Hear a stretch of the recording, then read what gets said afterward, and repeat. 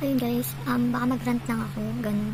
Kasi, alam niyo, naiinis ako eh, yung parang, anong, anong point ng prop para pahirapan kami, ganun, yung parang, may bonus ba kayo pagka naghihirap yung mga estudyante? Masaya kayo, masaya, masaya, ganun. Ang saya-saya.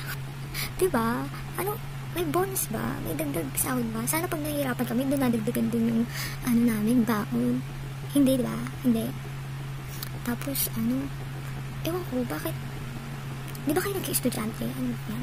Sana pa nagpo-prop kayo, or, na, hindi naman, hindi naman lahat ng prop, nilalahat ko, ay, hindi, hindi lahat nilalahat ko kayo. Ay, may mga prop lang talaga, na, walang konsiderasyon, ganun.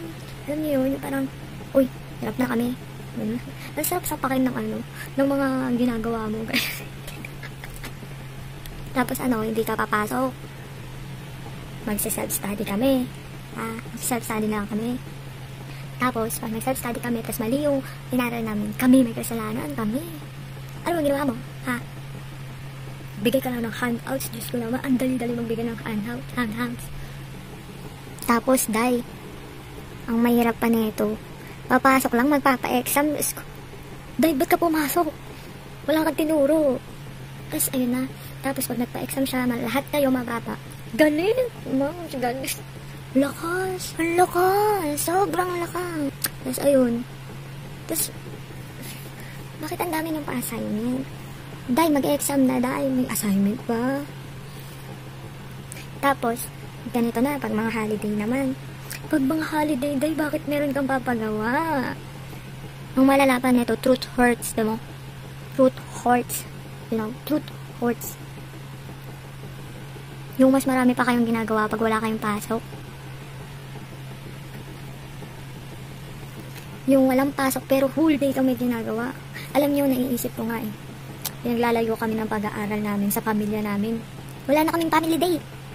Dahil pag nasira yung pamilya namin, ikaw sisisihin ko, Day. Ikaw talaga, wala akong biro, ha? Ikaw talaga. Tapos, sasabihin-sabihin pa nila, dami ng araw ng bakasyon, buti nga kayo, walang pasok. Walang pasok. Day, are you sure? Are you sure? Ha? Kung 8 hours kaming nasa school, tapos meron pa kaming ilang oras para kumain, tapos gumawa ng papagawa mo. Wala nang tulog yun. Never na namin kinocompute yung tulog kasi never kami natulog. Never talaga. Tapos galit ka, bakit mukha kami puyat? Ah, alam mo, di kita magitsin. Hindi kita... Bakit? Bakit? Tapos dahil, sasabihin mo sa amin, ang bababa ng grades namin. Ah, reklamo pa. Reklamo, reklamo, reklamo, reklamo, reklamo. Pero hindi ko nila lahat. May mga prop lang talaga. Na ewan ba, mga sugo.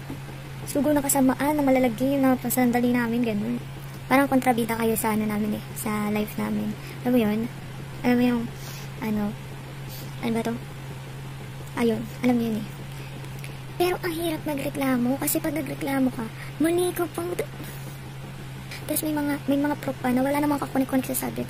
Ay naku, may mapagawa lang. Pag wala kayo mapagawa, huwag na kayo mag-isip. Huwag na, huwag nyo lang gamitin yung utak. Ganun. Huwag nyo lang... Parang naiisip ko, pinagpaplanuhan nyo kung paano kami pahirapan eh. Tapos, day, ito pa yung pinakamasakit. Ang daming pinagawa, ang daming project. Tapos, manghuhula lang pala ng grades. Day, ano, hindi mo na kayang computin, hindi mo na kayang ipag-plus, hindi mo na kayang hindi sayang, sayang naman yung effort namin. Hindi kung nag-e-effort ka sa pag-isip mo ng roleta mong grades, nag-e-effort kami para gumawa ng grades na tunay, madam. Ayun lang. This is my kind of 3A and pets. Yun lang.